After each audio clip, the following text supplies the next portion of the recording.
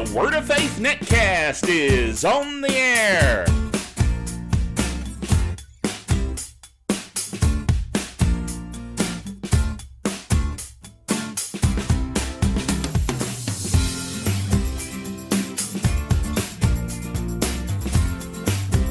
Well, praise God. This is Dr. Bill Bailey, and this is the Word of Faith Netcast. And I'm glad you could join us this week as we get into the Word of God. I've got my handy tablet here, which is uh, doubles as my Bible, which is kind of nice. Uh, and we're going to be talking about actually concluding our message on uh, how faith works, what it is, who has it, all the various aspects about operating in faith. So we're going to be uh, getting into that in just a few minutes. First of all, let me give you a few announcements. I mentioned, I think it was a few netcasts ago, about our RSS feed changing. Uh, we have switched over to the new feed, which I'm going to put on the screen right here. If you are subscribing to our video netcast, then by all means check out that special feed because uh, that is the feed that you can subscribe to and get our video netcasts on a regular basis. Also, another exciting thing is that we have developed a private Roku channel. Now, for those of you that are not familiar with the Roku technology, that is a device that allows you to get television across the internet, special internet television channels that are available over the Roku. You can get iTunes um, podcasts and netcasts that way. Uh, Brother Copeland just started a new Roku channel for his Believer's Voice of Victory uh, television stuff, BVOV.tv. All of that's out there. There's just tons of great programming out there. And we just started our own channel called SpeakFaith.tv. Now, a lot of you remember the SpeakFaith.tv project from, wow, years ago now. And now we have kind of uh, mutated it a bit uh, into this new Roku channel. And so if you have a Roku box, now get you a pencil and piece of paper to write this down. If you have a Roku box, then you can go to uh, Roku, the owner section. It's owner.roku.com. I'll put that right up here. Log into your Roku account and then insert this special code SFTV Beta, B E T A. And I'll put that right here on the screen. If you insert that, it will bring up the SpeakFaith.tv beta channel. Now, we have submitted it to be a full fledged channel that's available in their channel store and uh, hasn't been approved yet, but we're still waiting for that. Until then, you can do it through this private special code that you can enter in and get speakfaith.tv. So I'm encouraging you to do that. If you go to speakfaith.tv, the website, you can see exactly what our Speak Faith channel looks like uh, in the Roku. So I encourage you to do that. And for those of you that haven't made the leap and gotten a Roku yet, right now they happen to be on sale. So I thought I'd mention that to you.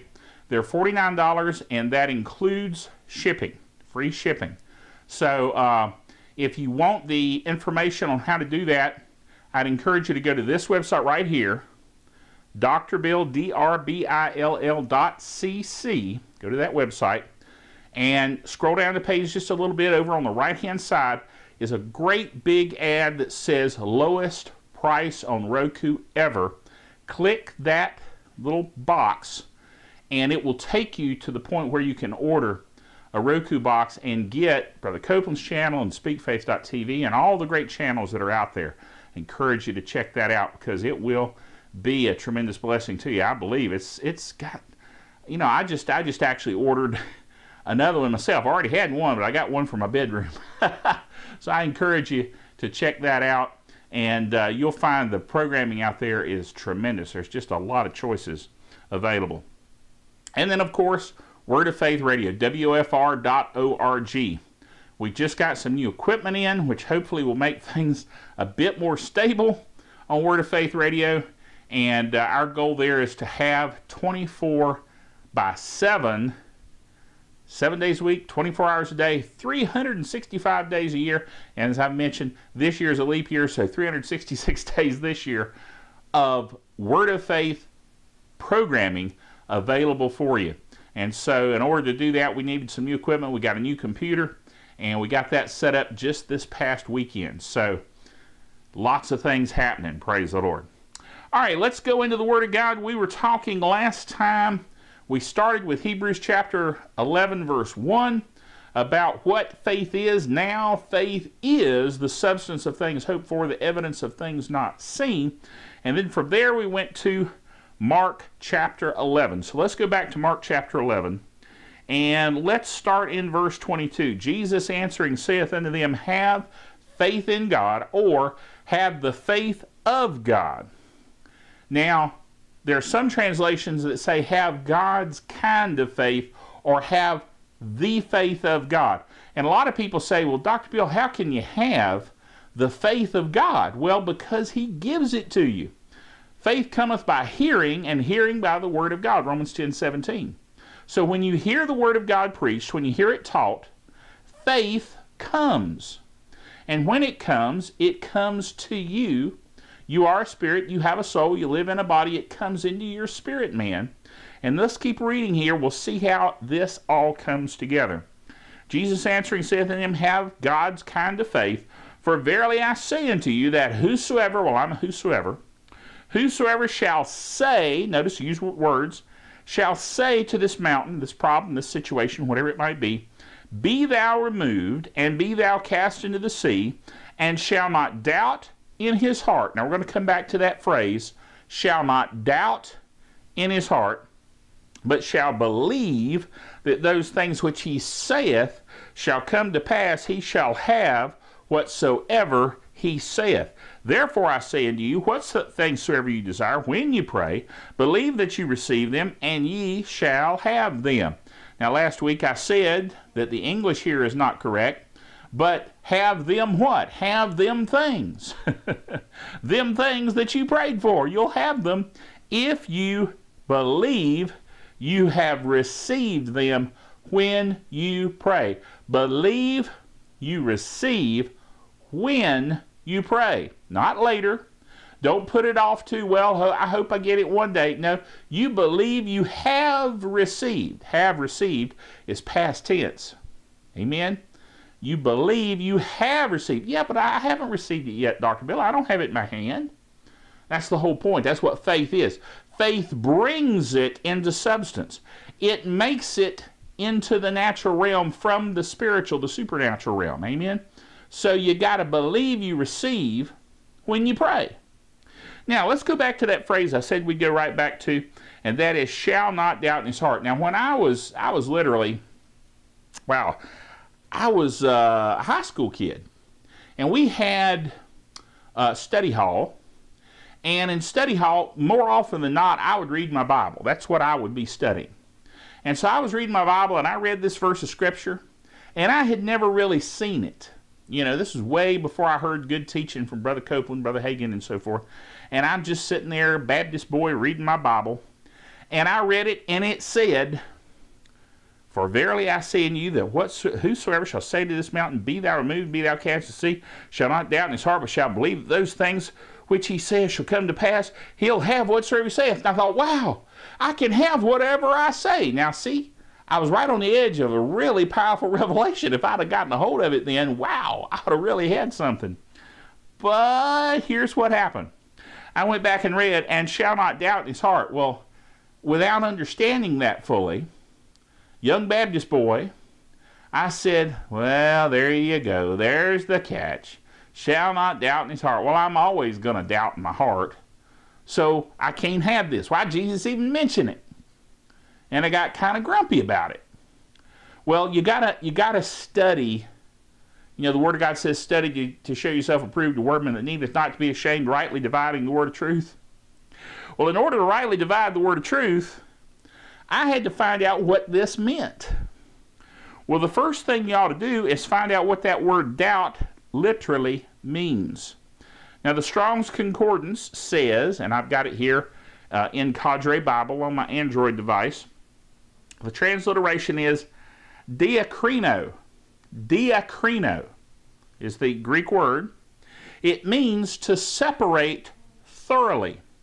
Literally and reflexively to withdraw from, by implication to oppose, figuratively to discriminate, by implication decide or reflexively hesitate, contend, make to differ, discern, doubt, judge, be partial, stagger, or waver. All of those are ways that the word is used.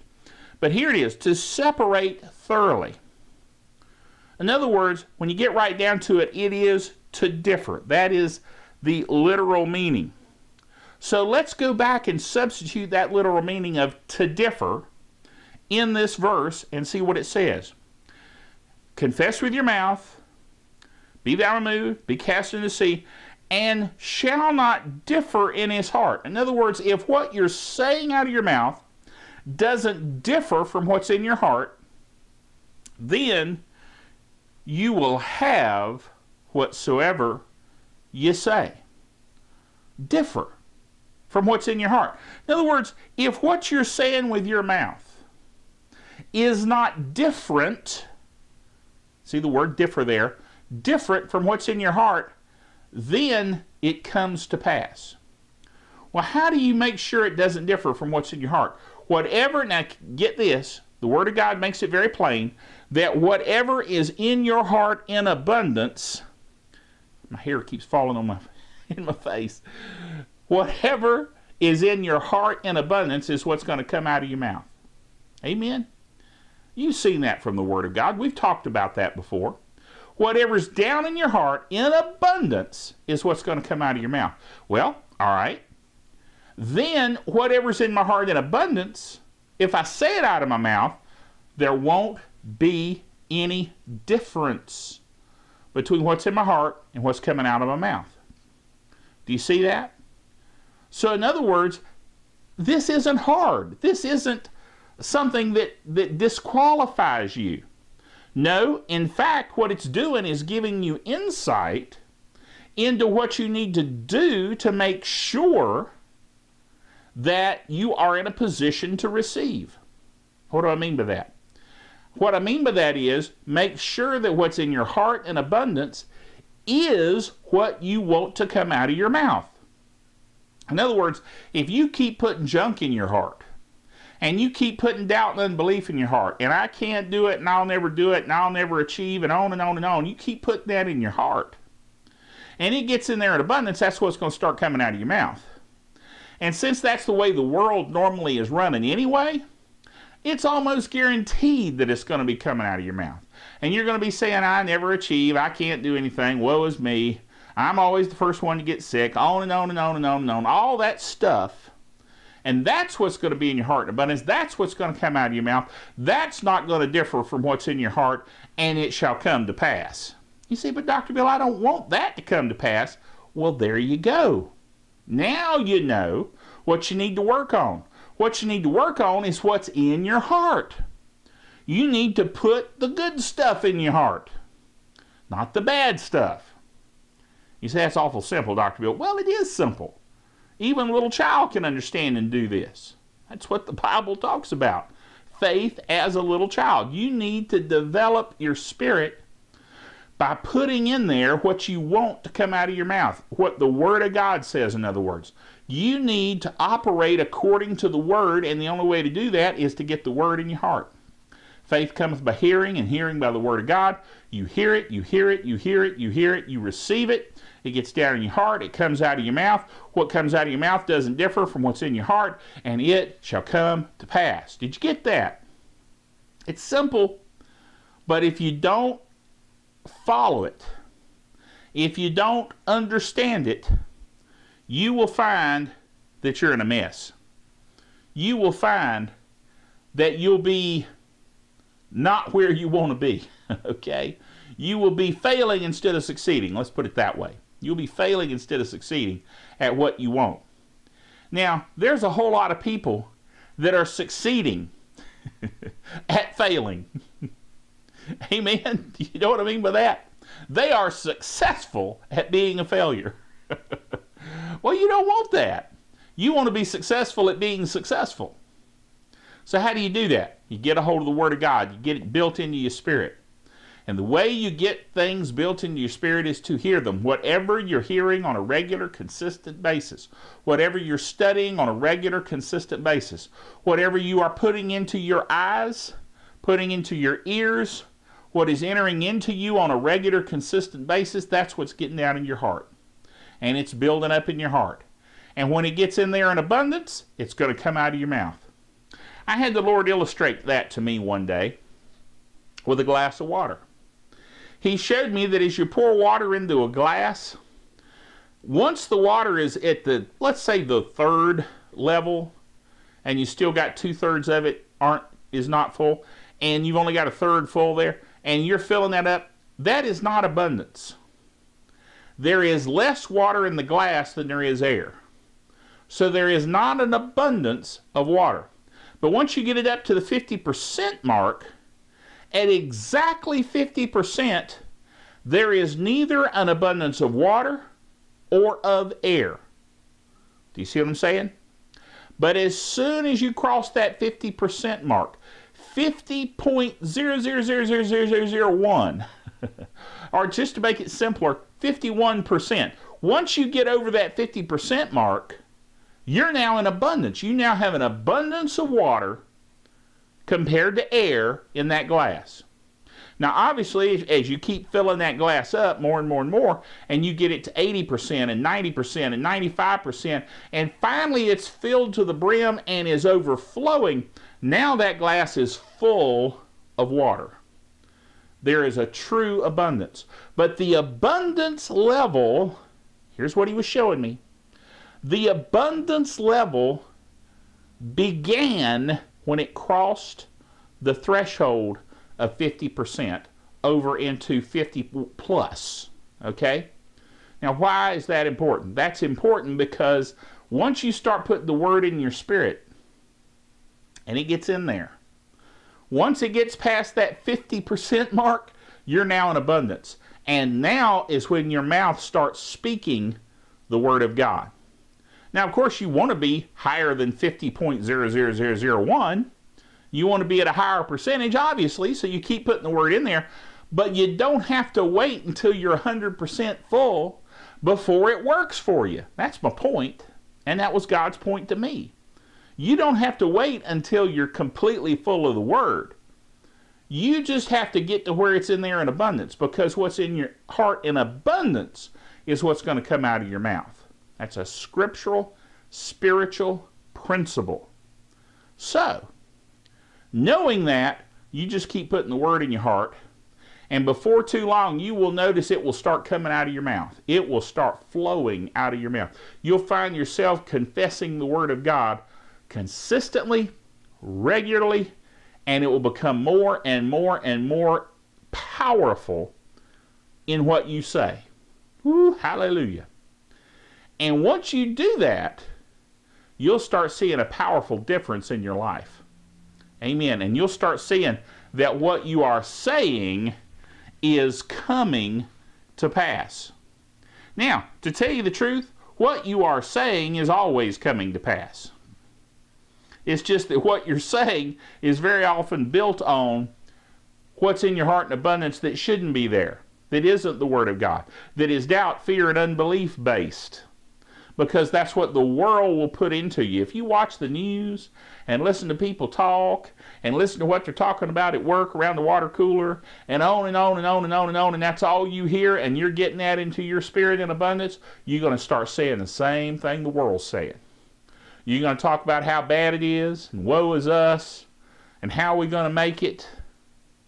And you're going to be saying the same thing everybody else is saying, and you're going to get, listen, the same results they're getting, which is zero. At least good results. They're getting a lot of bad results, but they're getting zero good results. We want the good results. And the only way to do that is to put the word in your heart. Hear it on a regular, consistent basis. That's why Word of Faith Radio is so important. That's why these videos are so important. That's why when you get a Roku box and watch SpeakFaith.tv, that's so important. All of these are ways that you can build the Word of God into your heart get it in there in abundance, and then it starts coming out of your mouth and changing your life, changing the direction of your life, changing your world around you. You can make the world conform to the Word of God and to God's will for your life. God's will is His Word. That's a Selah moment right there. God's will is His Word. And if you get His Word in your heart and speak it out of your mouth, His will will start coming to pass, pass in your life. Amen? You getting some things here? I, I believe you are. I'm just believing that a lot of folks are seeing insight into things that they haven't seen before. And it's going to really be a change for them. Now, we're going to conclude this particular study, but you know I'm always going to be teaching on faith. I mean, that, that goes without saying. I'm going to be teaching faith no matter what I'm teaching. But as far as this study, we'll conclude it here with this instance, and then we'll pick up with a new topic next time, okay? But I wanted you to see that what faith is, how it works, and how you can develop your faith. Get the word in your heart, speak it out of your mouth, have it come to pass. Amen.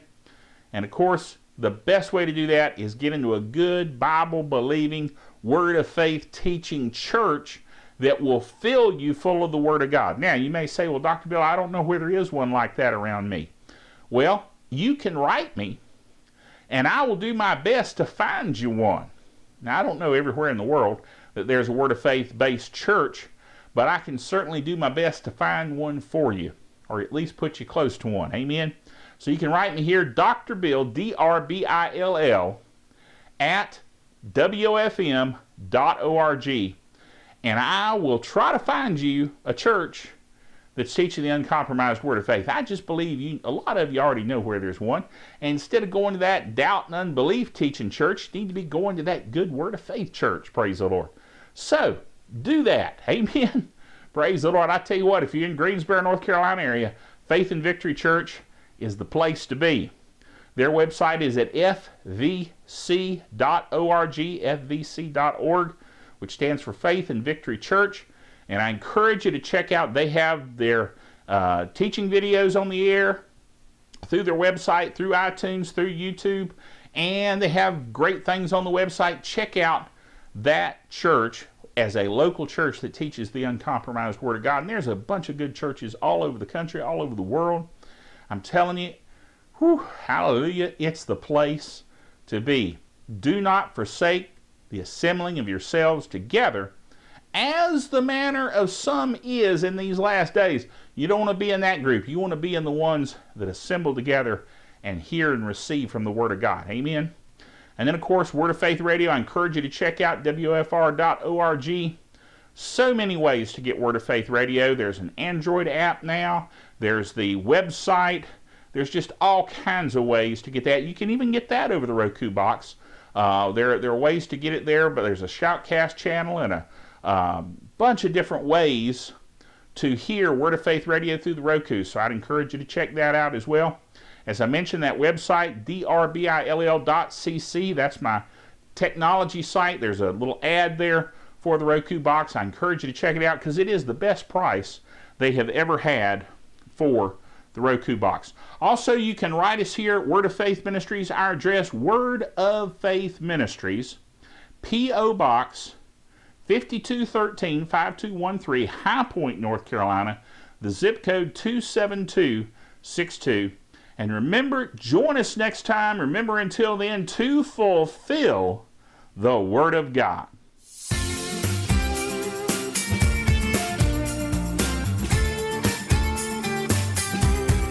The Word of Faith Netcast is brought to you by Word of Faith Ministries and our partners around the world.